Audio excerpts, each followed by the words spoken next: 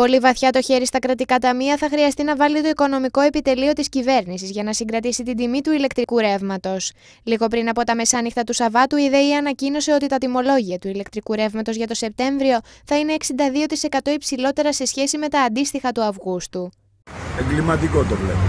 Τα μαγαζά δεν αντέχουν ήδη με τους προηγούμενους λογαριασμούς. Χρωστάνε όλοι το 80% τουλάχιστον στη, στη ΔΕΗ και στις εταιρείες ρεύματος ε, αν ανέβουν και άλλο οι λογαριασμοί, όπως ανέβουν για τα προϊόντα, φαντάζομαι, γιατί με το ρεύμα ανεβαίνουν για τα προϊόντα, βλέπω να παρατάμε τα κλειδιά στις πόρτες και να φεύγουμε. Οι αρχικές τιμές θα είναι φουσκωμένες από τα περίπου 50 λεπτά την κιλοβατόρα τον Αύγουστο στα 70 με 80 λεπτά το Σεπτέμβριο. Οι καταναλωτές εμφανίζονται ιδιαίτερα ανήσυχοι αφού, όπως λένε, με τους μισθούς που παίρνουν ήδη δεν μπορούν να πληρώσουν τα έξοδά τους. Ε, προηγούμενα να μου το προηγούμενο τετράμινο ήρθαν 320 ευρώ ρεύμα. Ενώ πλέον 270 ευρώ βάλανε 80 ευρώ παραπάνω και είμαι και στο κοινωνικό τιμολόγιο.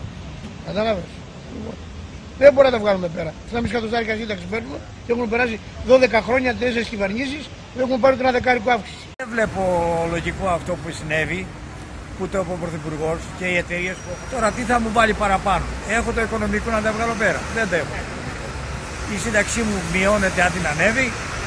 Ό,τι παίρνουμε πάντα είναι ακριβά καθημερινά.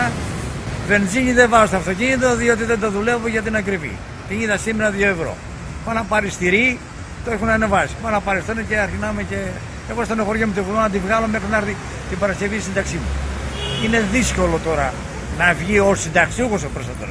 Οι νέες αλλαγές οδηγούν σε νέο κύκλο κινητικότητας στη λιανική αγορά, με τους καταναλωτές να αναζητούν το πιο φθηνό τιμολόγιο με τις μετακινήσεις από πάροχο σε πάροχο να έχουν εκτοξευθεί μέσα στο 2022. Οι εκρηκτικές τιμές στην ενέργεια πυροδοτούνται από το ράλι χωρίς φρένα που σημειώνει το φυσικό αέριο, η τιμή του οποίου έχει εκτιναχθεί.